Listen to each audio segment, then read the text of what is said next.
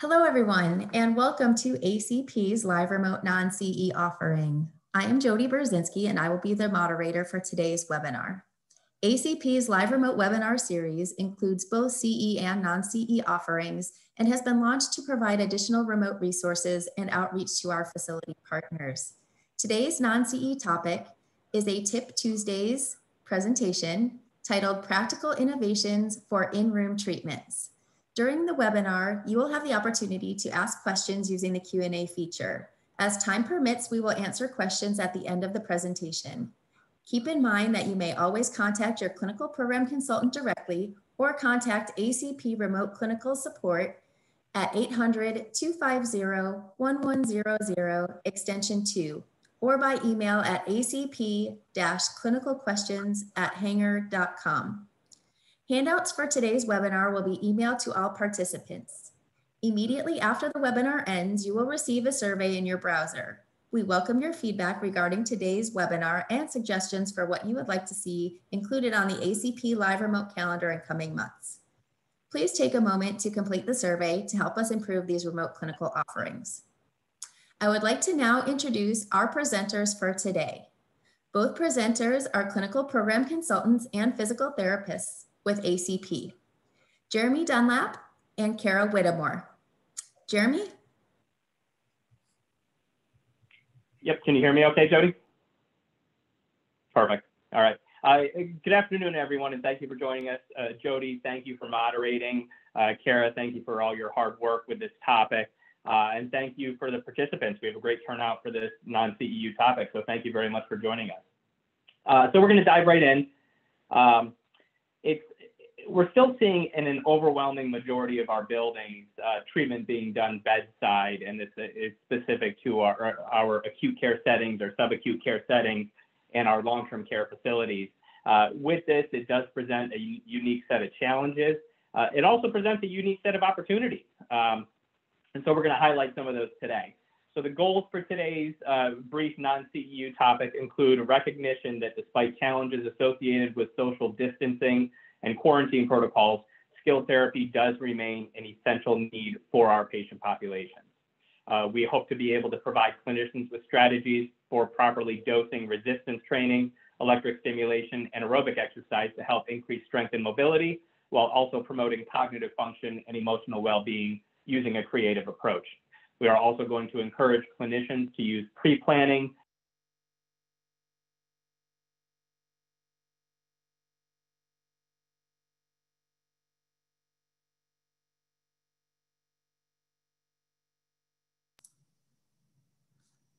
Okay, uh, hopefully you can all hear me okay. Uh, it looks like we just got disconnected with our phone line, so we're gonna switch to computer audio. Um, please let Jody know if you are not able to hear me effectively, uh, and we will uh, keep moving forward from there. Our last goal is to encourage clinicians to use pre-planning variety and creativity to improve range of motion, speed, intensity, uh, directional movements, as well as transitional movements. And Jody, please feel free to chime in and stop me if participants are not able to hear me. So far, I can hear you and I haven't gotten any other feedback. Thank, Thank you. Great. Uh, so some of the benefits of in-room therapy treatments, and some of this is a little bit self-explanatory. Uh, it's going to most likely, and we've experienced this in the gyms we've been in, or the, excuse me, the buildings we've been in uh, with gyms that are closed, uh, is it does decrease the likelihood of poor therapy attendance, uh, those sometimes built-in excuses of not having transportation down to the therapy gym, or some of those softer refusals um, uh, for participation in therapy tend to go away when we are delivering therapy directly to the patient's room. Uh, I, in some instances, it does provide for improved privacy and an enhanced feeling of one-on-one service, and this can be uh, beneficial for certain patient populations. Uh, it does allow us to uh, practice environment-specific activities of daily living and functional mobility. Obviously, we have access to beds and mirror mirrors and commodes and footboards and the patient's own footwear. Uh, we can work on navigating uh, the, the bathroom. Which direction does the door swing? Where are the grab bars located? Uh, from a bed mobility standpoint, it gets us uh, a chance to work on a softer, non-compliant surface instead of our traditional high-low mat tables. Uh, and again, commode transfers, negotiation around the bed, um, negotiation around obstacles, dealing with cell phone wires and uh, laptops and tray tables and all that. Uh, if we are working in the patient's individual home environment or their own, own apartment, it does give us a unique opportunity to uh, assess the safety and efficacy of the environment and make uh, modifications and recommendations uh, based on that. Uh, generally speaking, the patient's room is will be less noisy and less distractive versus a traditional therapy gym. Uh, I, I, think Kara said it best when she said it helps to set the mood uh, and influence the space to maximize success. Uh, and as we're going through therapy regimens, whether it's aerobic training, resistance exercise, balance work, gait training, uh, maybe even caregiver education, a lot of those aspects, when they are conducted within the confines of the patient's room, uh, they may be more easily transferable to a successful home exercise program. Some of the limitations of in-room therapy treatments, and I'll bet many of the participants have experienced this uh, uh, on an individual level. Uh, it oftentimes we do have less space to work with. The physical plan overall is decreased. So it does offer some challenges with uh, some balance drills, specific objective measure testing, uh, certain forms of aerobic training.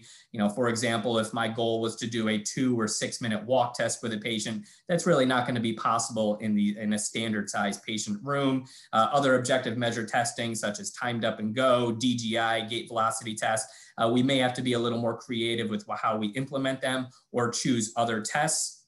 Um, focusing on balance training, uneven terrain, non-compliant surfaces, stair training, curbs, uh, that does present some unique challenges when we're doing therapy inside the patient's room. Uh, also, we may have decreased access to certain diagnostic tools and capital equipment.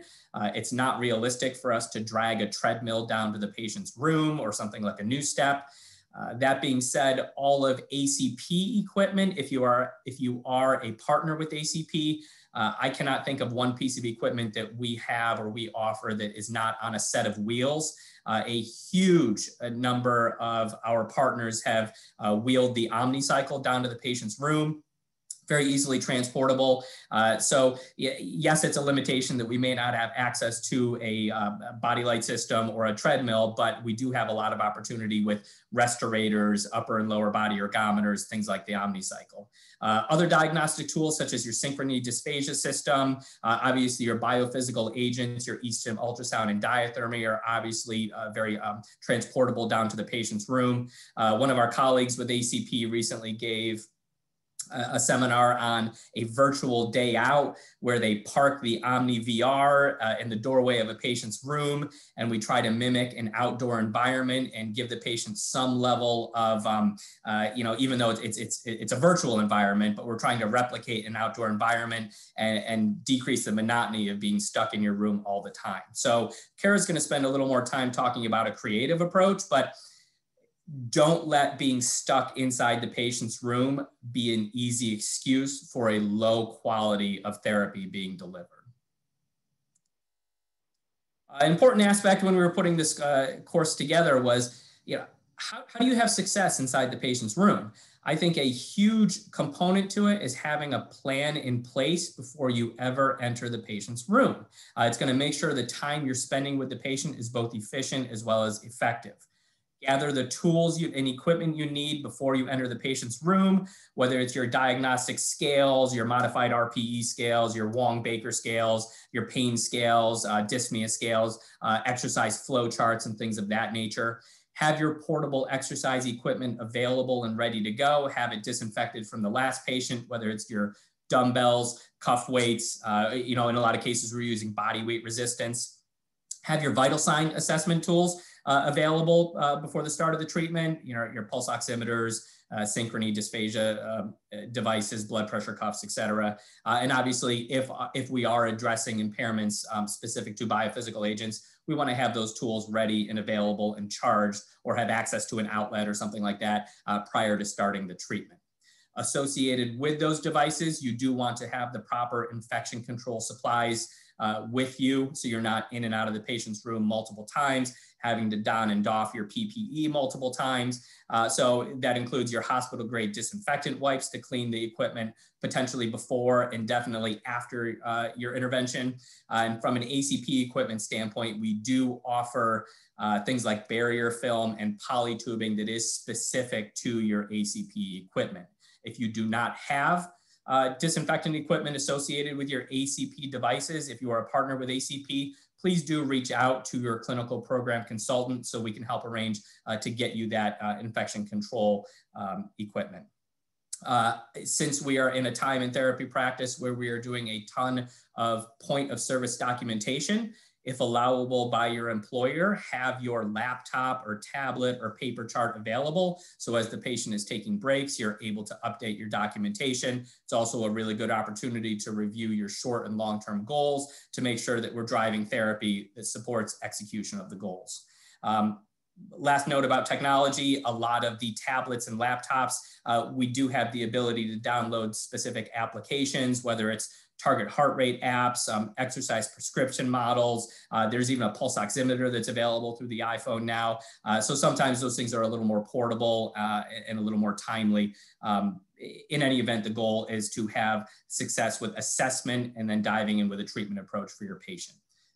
Uh, to button up this point, just a reminder, disinfect all equipment as per employer policy prior to leaving the patient's room.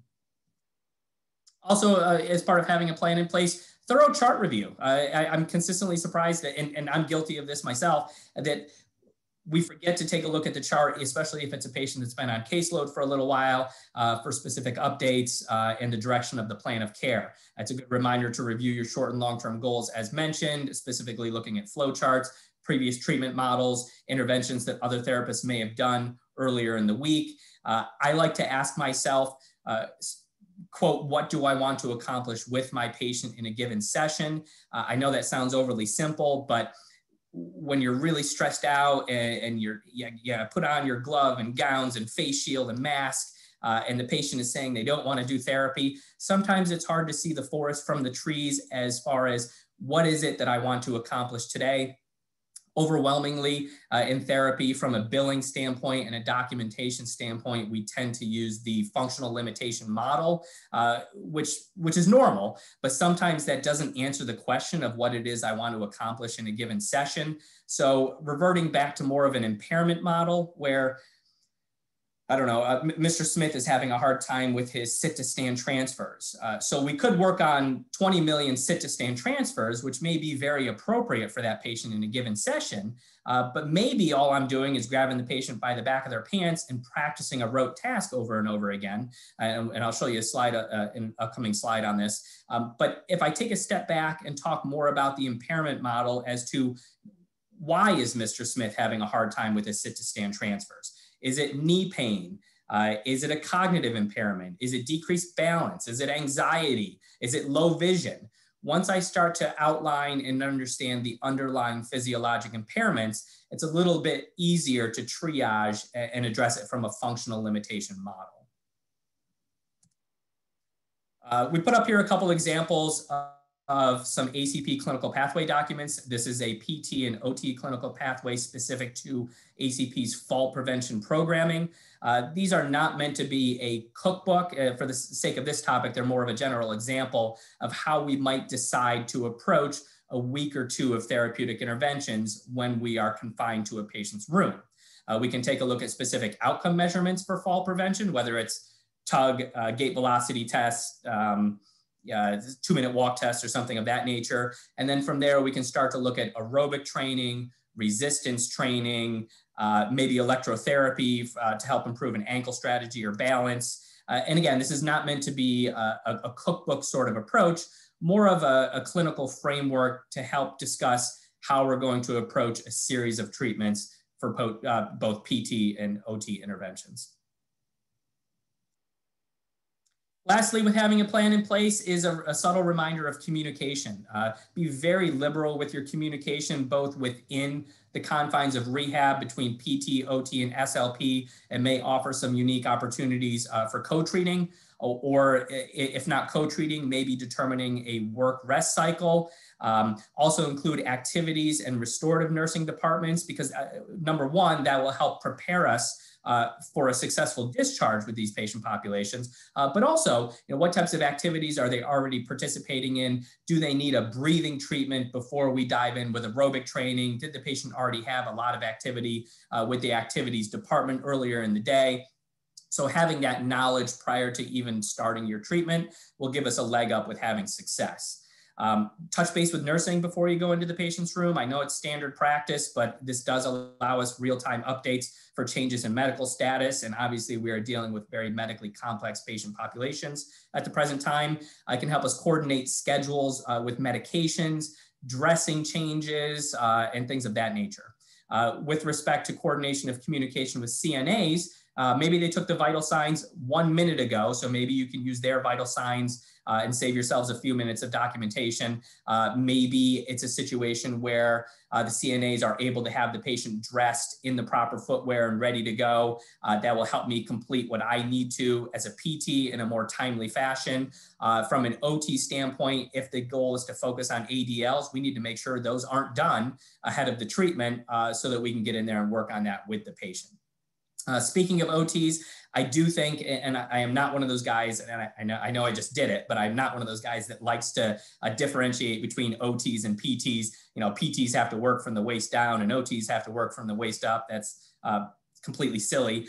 Uh, however, I do think OT does tend to spend more time doing bedside treatments than PT does. Uh, they do a lot of room modification, environmental modifications. Uh, they have a high level of expertise in those close quarters. Uh, so lean on them um, and use their expertise to our advantage.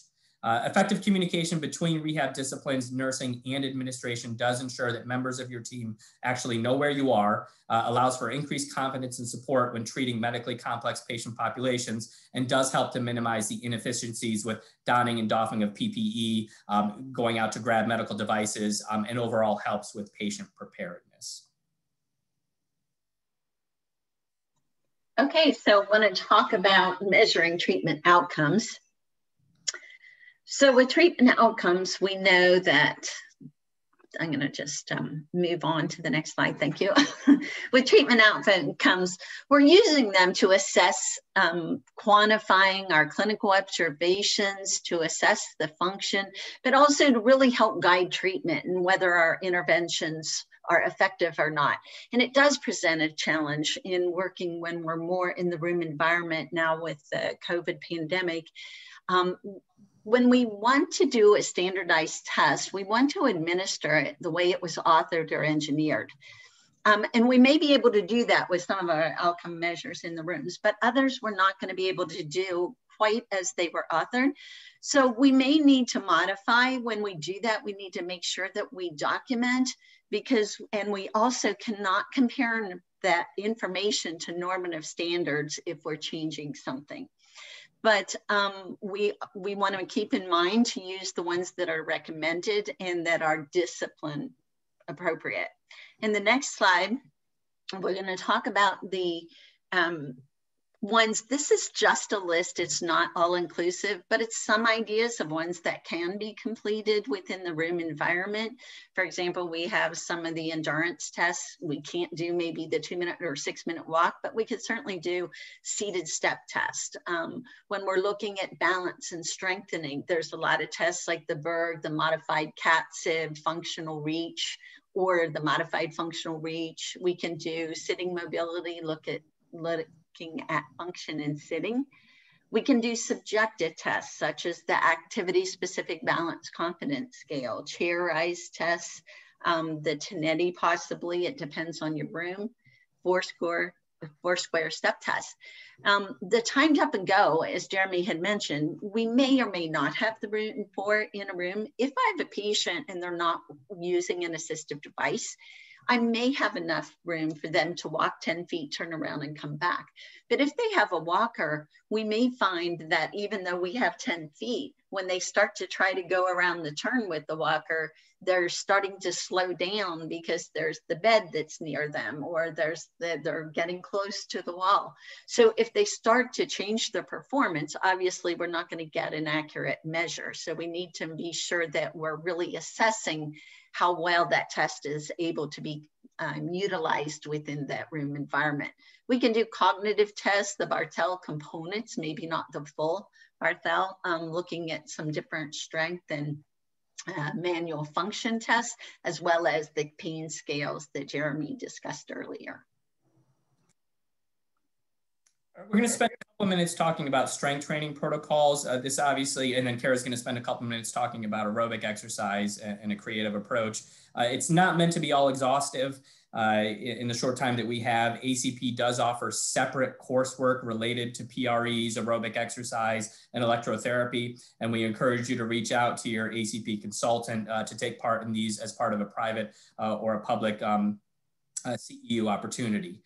Uh, so I already hit on the idea of linking functional limitations to primary physiologic impairments. If we're talking about progressive resistance exercise, the primary physiologic impairment we're discussing is obviously disuse atrophy or weakness. Uh, as a new grad close to 20 years ago, 18, 19 years ago, um, I was not a big a proponent of supine mat programs. Uh, I was all about getting my patient vertical and being very manual. Uh, and, and as a younger therapist, I was really missing a lot of opportunity. Uh, and think about it, fast forward 10 years uh, to the early 2000s, where we're talking about um, you know, P90X and Beachbody and all that, we're all home doing body weight resistance supine mat programs in a sense. So when they're done in a skilled and mindful way, uh, they can be really appropriate for our patients. Uh, obviously, we need to consider the term progress and the term progressive resistance exercise. So we do need to bump up the re repetitions and resistance as the patient is able to tolerate. Uh, but it does offer us a lot of opportunities to have significant strength gains and sort of cut into those functional limitations uh, with our older adult patient populations.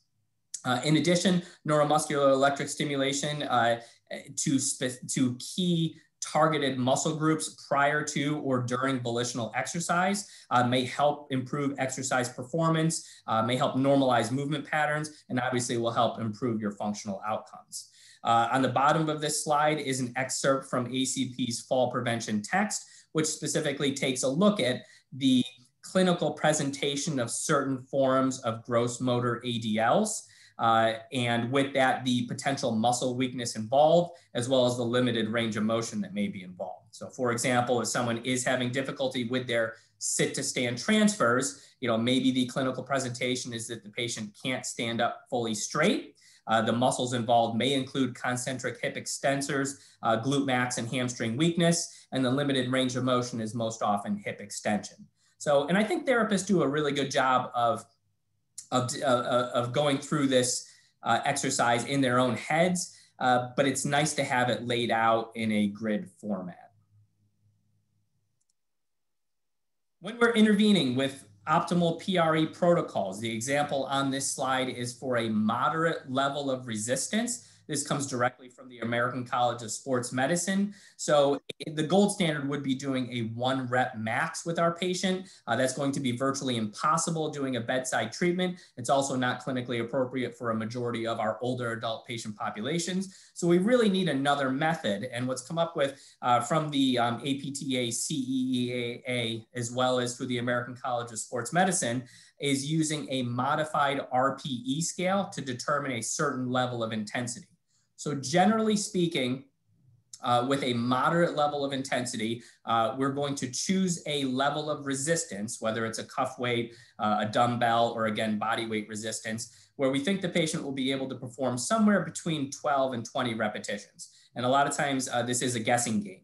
Uh, what the American College of Sports Medicine recommends is number one, don't tell your patient how many repetitions to do we count for them or along with them while they're breathing. Um, and we stop the exercise when the patient is no longer able to go through it successfully. And we'll go through that in the next slide. But generally speaking, we're going to do one or two repetitions of a given exercise. We're going to stop and ask the patient how challenging it was. Ideally, we hold up a version of the modified RPE scale shown below. And if our goal is a moderate level of intensity, they will generally be somewhere between a two and a four with their perception of intensity. Uh, if they say it's extremely easy, uh, don't bother going through the exercise, bump up the resistance. If they say it's extremely, extremely challenging, maybe we bump down the resistance. So as they're going through the exercise, oftentimes we'll notice a slight increase in respiration, uh, maybe a slight tremor. Uh, and again, we will increase or decrease the resistance uh, based on the above. So, eh, so going to the second bullet, uh, there's a lot of evidence that supports a high intensity level of PRE uh, for a majority of our patient populations, uh, which would be somewhere between 8 and 12 repetitions. For the sake of today's course, we decided to go with a moderate level of intensity, again, somewhere between 12 and 20 repetitions. So as the patient shows progress over time, they, uh, with the same level of resistance, they will eventually exceed 20 repetitions. When that happens, we're going to bump up the resistance. And as we bump up the resistance, maybe we go from the red TheraBand to the green or the blue TheraBand. As we bump up the resistance, we would naturally expect the repetitions to go back down. Again, we're refraining from telling the patient how many repetitions to perform overall and as we count along with the patient, we discontinue the exercise when the patient is no longer available, excuse me, when the patient is no longer able to go through the full available range of motion. Um, uh, if, if, the patient is not able to uh, uh, complete the repetition slowly, or if the patient starts to substitute. And oftentimes via exercise performance, uh, the patients will tend to communicate non-verbally when it's time to increase the repetitions. Uh, moving on real quickly to E-stim, and again, this is a non-exhaustive discussion of E-stim. We're just going to give you a couple examples. Uh, there's times we're sitting in the in the big gym and we forget about the value of E-stim. When we're down in the patient's room, it's a really good opportunity to go back to that impairment model and saying, why is my patient in need of therapy? Is it pain? Is it weakness? Is it hypertonicity? Does the patient have a wound? Uh, does the patient have edema? And then we can go over, if you have, if you're an ACP partner, you can go directly over to your OmniVersa device and choose a protocol that's going to be appropriate to address that physiologic impairment. So a couple quick examples, uh, we chose to use um, ACP's lower extremity triphasic patterned electrical nerve stimulation. Maybe I determine that my patient has a Trendelenburg um, uh, has some, some balance issues or some proximal weakness. So maybe I isolate the iliopsoas, the paraspinals, uh, the abdominals, the rectus, the glutes, the hamstrings. I wake up those nerves and muscles with electrotherapy, and then I follow that up immediately with single limb or double limb bridging, um, you know, maybe clamshell, if I'm in more of a coronal plane uh, and I need to focus on something like glute medius uh, or, or, maybe even uh, quad hamstring glute if it's a, a static or dynamic standing balance or difficulty with sit to stand transfers. So again, the idea is we look at the clinical presentation of the patient and then we dive in with something that's, uh, that's going to be appropriate to address those needs. Uh, the last thing I'll mention with respect to electrotherapy is uh, most of ACP partners will have a portable uh, pen cycle walk unit in the therapy gyms. Uh, this is a small handheld, there's a picture of it, small handheld e-stim device that usually comes in a small black case. Uh, and it is preset with our cycle walk, excuse me, cycle and walk protocols, uh, which is more of a reciprocating style of pattern. Uh, we would use it on alternating quadriceps or something like alternating triceps. Uh, the benefits of the uh, uh, the portable cycle walk unit is that uh, one, I may be able to kill two birds with one stone and stack a couple treatments together. So uh, in the, the, the, second picture listed here where the gentleman's on the Omnicycle, maybe I set up electrotherapy on bilateral quadriceps and it's a reciprocating pattern.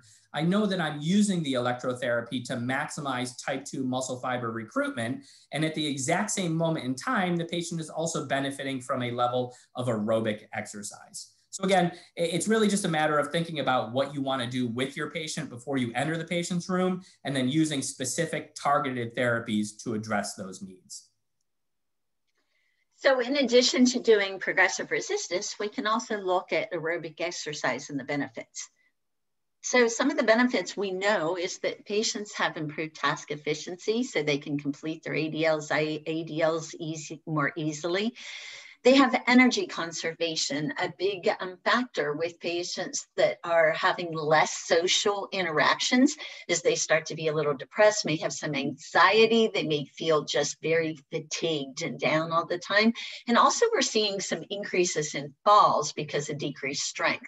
So one of the things about aerobic exercise is there's lots of research showing that it actually increases energy, less fatigue, elevates the mood, and it reduces the risk that we're seeing from some of this more sedentary behavior, such as risk of chronic disease, um, functional limitations, et cetera.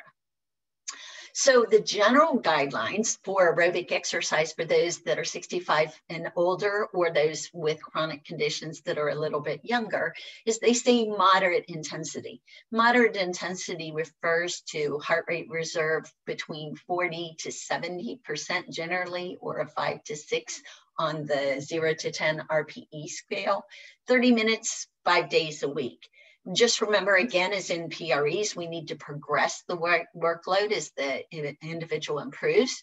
And, and when we start to get into longer times, like they're closer to 30 minutes, we need to make sure we're doing long warm-ups, 10 minutes of warm-up and cool down. Because with the geriatric population, their systems are not as flexible. They take a lot longer to adjust to those changes. Um, you can calculate heart rate reserve many different ways. You can manually calculate it. Um, there's a formula there. You can also, ACP has charts in the aerobic exercise course appendix, or you can use an app that all you do is download the app and you put in the patient's age and the resting heart rate, and it'll give you the different target heart rate zones. Remember, clinicians have to determine if exercise, aerobic exercise is safe for each patient in appropriate intensities within that 40 to 70%. And also review your company specific policies and guidelines because many of them have contraindications with absolute and relative and termination criteria listed in their policies. Um, when we look at skilled intervention, we want to be sure that we're monitoring mid, pre, mid, post treatment. So we can be monitoring several different things heart rate, blood pressure, O2 sats with the pulse ox, respirations. We can use the Borg scale for subjective response. And we're going to modify the intensity of what we're doing based on that, based on the, that what we're getting from those readings. And that is skilled therapy. You can use a heart monitor or a pulse oximeter, but I would suggest you also manually palpate because the pulse ox is going to give you a number, but you're not going to be telling, you're not going to tell what the rhythm is doing if there's a significant change. So it's a little um, better to also manually palpate. Remember, those on cardiac meds will have special considerations that you need to be aware of. And when somebody is not appropriate for aerobic exercise, especially if they're severely compromised cardiopulmonary patients, they may be able to participate with low level resistance and low level resistance in those individuals can provide similar benefits as aerobic exercise with more um, fit individuals. We also have some guidelines for specific populations. And what you'll see is most of them still are close to that 40 to 70%. Some go a little higher. For example, with CAD, it goes to 85. Some a little lower, like with congestive heart failure, they're going to stay in a range of 40 to 60%. You can do either intervals or continuous exercise, and it kind of lists which ones have been demonstrated in the literature to be effective and then the time for when we want to keep them in that heart rate zone, as well as warm up and cool down periods. This is just showing for, for example, COPD, if I'm doing continuous, I want to keep them more at a moderate level on the RPE scale. If they're doing the actual interval, they can be working a little harder and they'll be at that somewhat hard and then of course they'll drop down during a rest period. Also same with the dyspnea. We would have them at slight to moderate when they're doing continuous training and a little more towards the severe dyspnea with interval but not quite up to severe Um, so when we're doing our warm up, the big goal here is to increase circulation. We can do hand opening, close, wrist circles, shoulder circles, any of the range of motion type exercises. We can also do postural exercises, chin tucks, shoulder um, retraction, pelvic tilts. We can do a single extremity exercise um, at a nice, easy pace, or we could do gentle cycling at a self-selected speed. Again, this is just some ideas, not an inclusive list. And then we want to move into target heart rate range. So we want to keep them in their target range for a specified period. We may have to start with only five or 10 minutes for those more compromised, but ideally working up to more that 30 minutes. So for those seated patients, non-ambulatory, I can start with single upper extremity and start to go a little faster. I can do bilateral or I could do bilateral extremities with uh, the other extremity. So let's say I raise my arms and I do a kick with my legs, or arms out to the side and I do a marching with my hips. We can do seated running in place or jumping jacks. Consider intervals for those who have more difficulty with that continuous exercise. Use the omnicycle as Jeremy mentioned, these can be transported. I can do intervals on the omnicycle. I can vary the speed. So I'm not just working at the same 15 reps per minute, but I'm really, you know, kind of working more to get into that target heart rate. I can vary the direction going backwards. I can add resistance to that, or I can add the CycleWalk portable unit for functional cycling to add that extra sensory input and the type 2 muscle firing that we would get from that. With the VR, there's many seated activities if they're non-ambulatory. So I could possibly do an uh, upper extremity activity followed by a lower extremity activity, and then maybe a trunk activity, go back to upper extremity. So we can keep cycling through different sections of the body with different seated VR programs. The big things, be creative and relate the activities to their interests or past history. Not everybody likes music. If they don't like music, maybe they would like Kenpo or pick kickboxing where they're doing different jabs, punches, and crosses, different blocks. Or maybe if they like music, you know, think about what type of music do they like? Do they like dance? Do they like playing instruments? Vary the musical theme. We could have big band. They could do like the Charleston, where they're doing all the dance moves that go with the Charleston. Um, we could airplay instruments. I could give them sticks and they could play a drum solo on their bed, or they could do um, uh, jazz with a, a, saxophone where they're really incorporating some trunk movement into it. So once we've finished the heart zone, then we want to, um, with standing activities, there's some different options as well. So um, you could set up circuit training in the room. I could have a station where I have a chair where they're doing seated activities, sit to stand type activities, and then they can move to another station where they're holding the bed rail and they can do toe raises, squats, kicks, step ups, etc. Or we could do freestanding station if they're able and they have the balance. We can do marching, mountain climbers, sidestepping, the Omni VR presents some opportunities for standing activities as well, such as the stroll and city walk, where we can increase the time of those activities and the speed that they're kind of working on. And the Omni stand, also the dynamic balance system, if you have that, we can utilize that to do a wide variety of activities in standing that are going to challenge aerobically. Big thing, be creative, vary the speed, vary the surface, vary the direction and activities. Keep it entertaining and fun for the individual. So the cool down, the goal is to get back to that steady state, to allow their body that time to recover back to those resting vitals. So um, we might do gentle kicks and marching, single upper extremity or lower extremity activities again, maybe some stretching activities in sitting or standing. Deep breathing exercises, seated yoga can be a great option. If you're using the OmniCycle, back to a self-selected speed um, a nice gentle um, cycling. With the VR, if we were doing standing activities, maybe we go back down to seated position and do some gentle kicks with the picnic exercise or the puzzle activity. Um, we can also work on pre-gait and gait activities. So with pre-gait, um, you know, ideally with ambulation, we would want to do it in a larger area to fully assess all the different mobility on levels, uneven surfaces, stairs, curbs, encompassing the aerobic endurance aspect. But we can really work on specific gait components in the room. And a lot of these we don't probably address as much as we could. So it's a nice opportunity to really work on them. And we'll discuss some of the options with that, as well as in-room environments, maybe more applicable to what their home environment really is. Na navigating tight areas and working on more functional um, ambulation with ADLs and IADLs. So um, continuing on, so standing activities with posture up against the wall, we can have them um, stand and really work on variety of things such as gaze stabilization, focusing their gaze. We can work on alignment, um, utilizing proprioceptive cues from the wall. You know, so as they do a chin tuck, they can feel the pressure change on the wall. They can feel their shoulders retract. They can feel their lumbar curve flatten as they're doing pelvic tilts against the wall. We can also use those proprioceptive cues for their feet.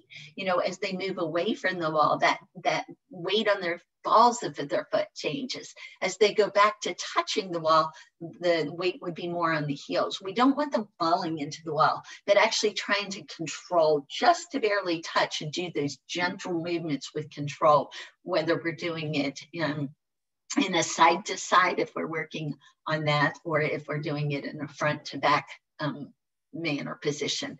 Focus on breathing activities, Berry vision, maybe alter it with gauze over the eyes or dark sunglasses static standing activities we can do at the wall or at a bed rail.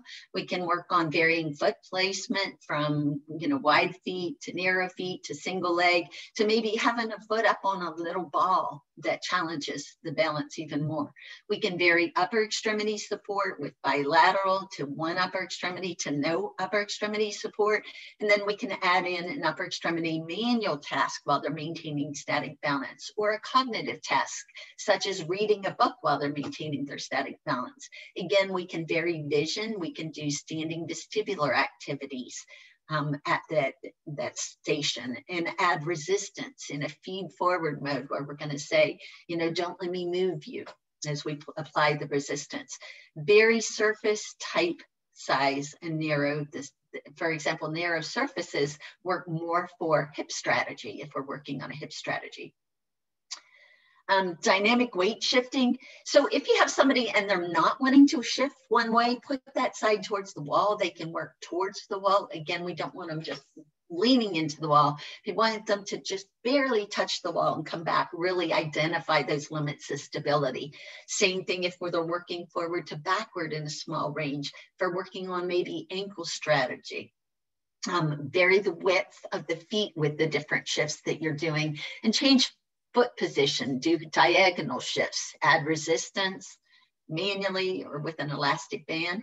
And as uh, Jeremy, Jeremy mentioned earlier, the functional walk program is really good with shifts. So I can set it instead of RPMs per minute, think about it how many shifts per minute and set it for that to provide that tactile cueing to help with the weight shifting.